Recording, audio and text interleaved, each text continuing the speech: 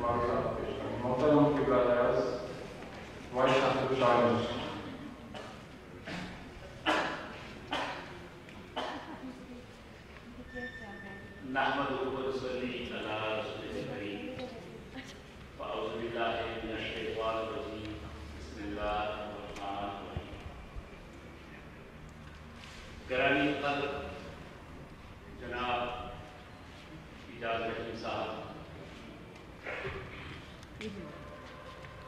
तकरीब और स्टेज पर तशीफ फरमा खवानी जिनको कॉन्फ्रेंस की शुरा खवान हजरा।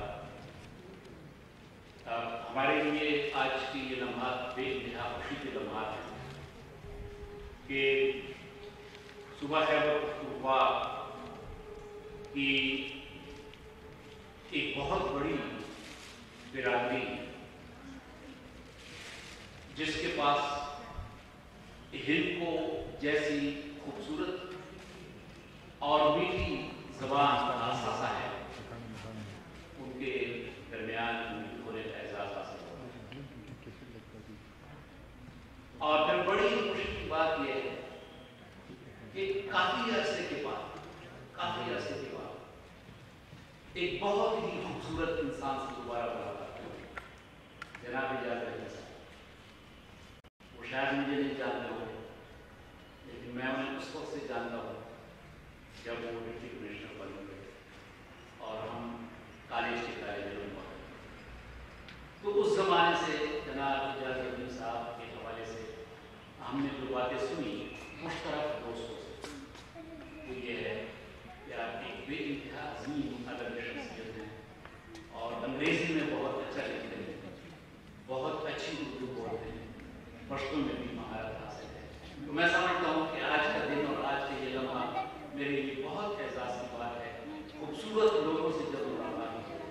शाइस्ता लोगों से मुलाकात हुई है तो उस दिन अल्लाह ताला का मेरे लिहाज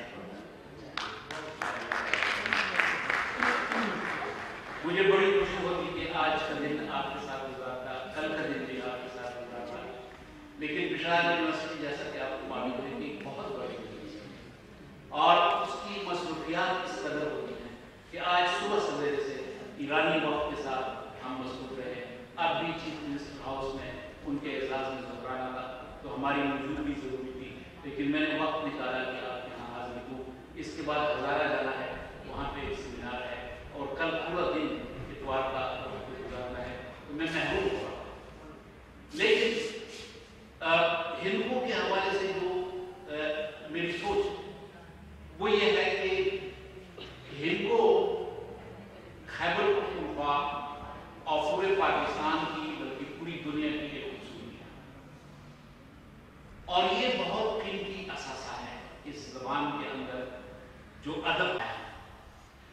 together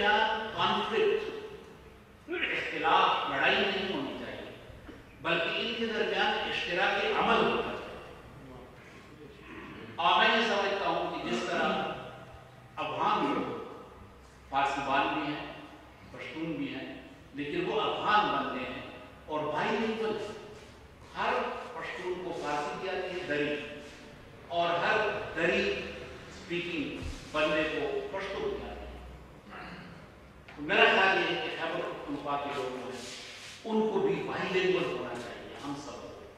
हमें हिंदो भी आए, हमें पश्तो भी आए। ये हमारा एक हदफ होना चाहिए। और ये कोई मुश्किल काम नहीं है। सच्ची बात है, ये मुश्किल काम है।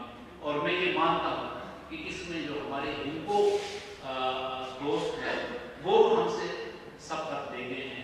उनको हिंदो तो आती है पश्तो भी आती है।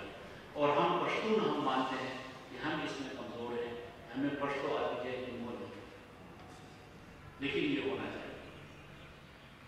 अब ज़ाहिर है कि शायद यूनिवर्सिटी एक बहुत बड़ी यूनिवर्सिटी और मैं आपके सामने निदामत का इजहार करता हूँ कि इतना बड़ा सरमाया है वो हुकूमत का और शायद यूनिवर्सिटी में हिंदो की कोई अकेडमी कायम नहीं है हिंदो का कोई डिपार्टमेंट नहीं है।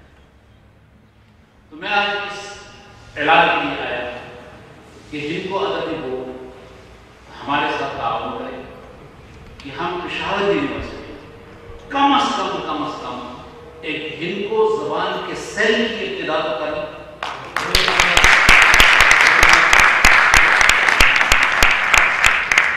और आज की यूनिवर्सिटियों का काम यह है कि यूनिवर्सिटियों का का ताल्लुक सोसाइटी के साथ माशरे के साथ वो दौर अब गुजर गया है कि एकेडेमिया यानी जामिया का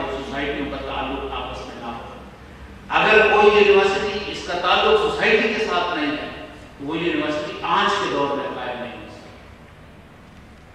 वो मैं आपसे ये दरखास्त करने आया हूँ कि जितनी जल्दी मुमकिन हो कि आपके जो जिम्मेदार हैं, वो मुझे बुलाएँ, मैं हाजिर होगा और अपने टीम्स को हम ले आएँगे ताकि हम देखें किस तरीके से हम इनको सेल कायम कर सकते हैं।